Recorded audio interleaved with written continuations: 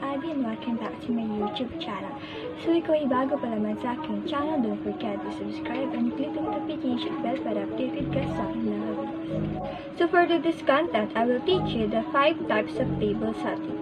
So the first one is the American Continental Breakfast Table Setting. The second one is the English Table Setting. The third one is the basic American table setting. The fourth one is the French table setting. And the last one is the Russian table. So the first video that I will teach you is the American Continental Breakfast Table setting. So let's get started!